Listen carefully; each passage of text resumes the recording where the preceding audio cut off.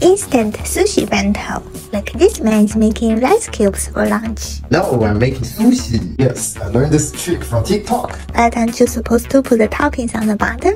No, toppings are supposed on the top. That's what they call toppings. Flip it over. Ah, ta-da! Wow!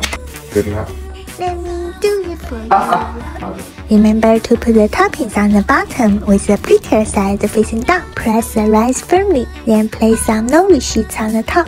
Ta-da! With the nori sheet, the sushi won't fall apart no matter how bad your chopstick skills are. Pair with miso soup. And the fruit that